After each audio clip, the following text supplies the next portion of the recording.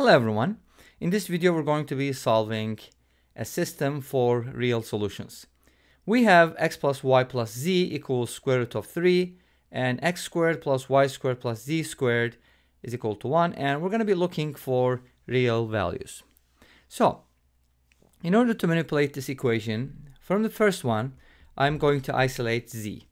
Let's go ahead and uh, get the z by itself. z can be written as square root of 3 minus the quantity x plus y. And then I'm going to substitute that into the second equation. Let's go ahead and do that. So that gives me x squared plus y squared plus square root of 3 minus the quantity x plus y quantity squared equals 1. So let's go ahead and subtract, uh, let's go ahead and square this as a difference. So that should be x squared plus y squared plus, so it's kind, kind of like a minus b quantity squared this is going to give me 3 minus 2 root 3 times x plus y plus x plus y quantity squared. And that's equal to 1. So let's go ahead and expand this and we're going to simplify.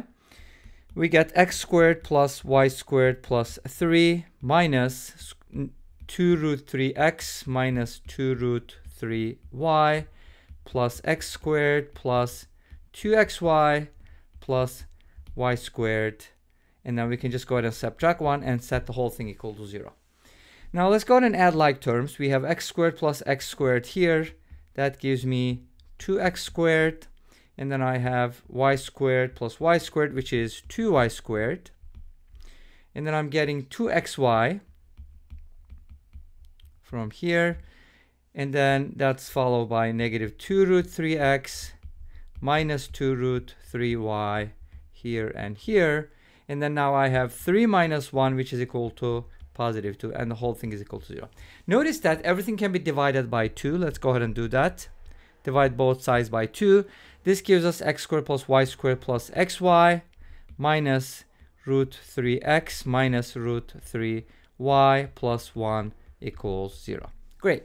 Now, I'd like to write this as a quadratic equation. So let's go ahead and do the following. Let's isolate x squared here. And then the terms that has x in them, I'm going to put those together. So I can just write it as y minus root 3 times x, these two terms, and then I've taken care of that. And then, actually not that one, this one and this one. These two, and then I'll separately write the y squared. And then after this, I'm going to have everything else uh, y squared and then minus square root of 3y plus 1 is equal to 0. So that's a quadratic equation in x and we can solve it by using the quadratic formula. So let's go ahead and plug everything into the quadratic formula and solve for x. And then after we find the x values, hopefully we're going to be able to find the other values as well. And now why did I do this for x? It doesn't really matter because of the symmetry. Whatever I did for x, I could uh, I could be doing for other variables as well. So it doesn't really matter at the end. We have this type of symmetry. Okay. So let's go ahead and write down the quadratic formula for this.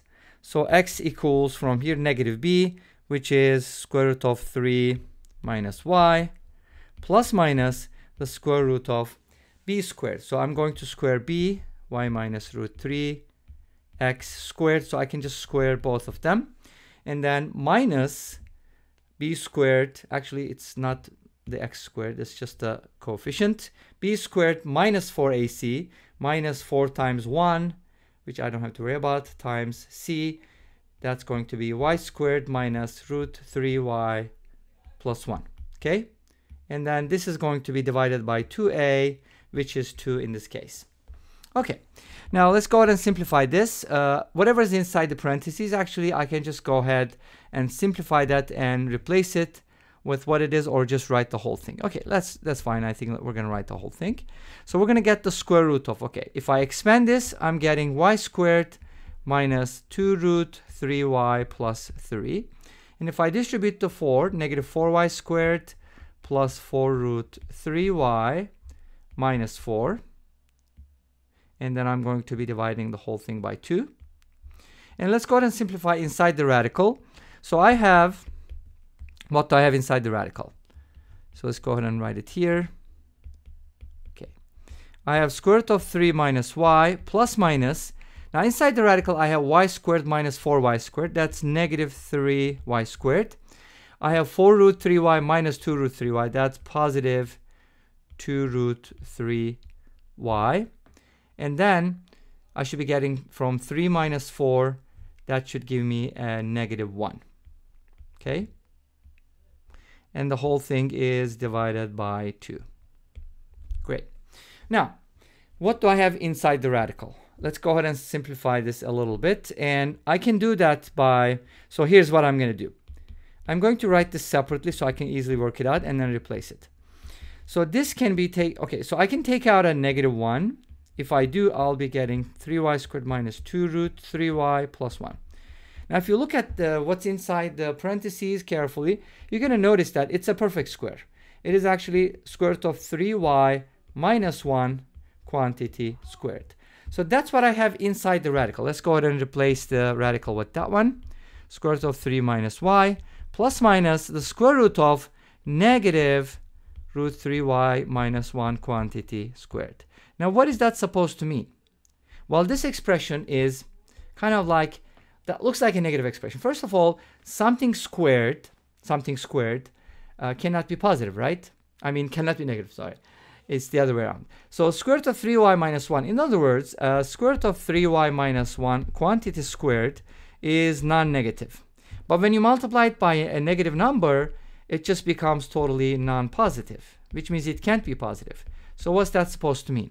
Well, it means that uh, we are looking for real solutions, and in order to have real solutions, our discriminant needs to be greater than or equal to 0. But looks like it is less than or equal to 0, which means it has to be 0. That's the only option that's going to work for us. So discriminant needs to be 0, otherwise it's going to be negative, and I don't want that. So from here we get square root of 3y minus 1 quantity squared, all that stuff. But let's just go ahead and set it equal to 0 like this because it's the same thing. And from here, I'm getting uh, square root of 3y equals 1 and y equals 1 over square root of 3, which I can write as square root of 3 over 3. Okay? So I, I got the y value. How can I find the x value? Well, you can take advantage of symmetry, or you can just use the fact that the discriminant is equal to 0. So from here, so from here we get that x is equal to square root of 3 y minus y. And then it's going to be plus minus 0. I don't have to worry about it. Divided by 2. So now I got the y value. Let's go ahead and find the x value. Square root of 3 minus square root of 3 over 3 and all over 2. If you make a common denominator, you get 3 root 3 minus root 3. That's going to give you a 2 root 3 divided by 3 divided by 2, which is going to be 6. And this also gives you the same thing, which is not a surprise because we knew from symmetry that uh, we would get a similar result. So x value is also square root of 3 over 3. Now, if you go ahead and plug this into the original system, you will also notice that the z value, or if you use this uh, substitution here, you're going to be getting the same value. So the z value will also be the same and we're going to be getting square root of 3 over 3 from here. So our solution set is made up of as a, you know, and obviously xyz can be switched around, but it's an ordered pair. So I'm going to write it as square root of 3 over 3, square root of 3 over 3, and square root of 3 over 3 as an ordered triple. And this brings us to the end of this video. Well, thank you for watching. I hope you enjoyed it. Please let me know what you think. Don't forget to comment, like, and subscribe. I'll see you tomorrow with another video. Until then, be safe, take care, and bye bye.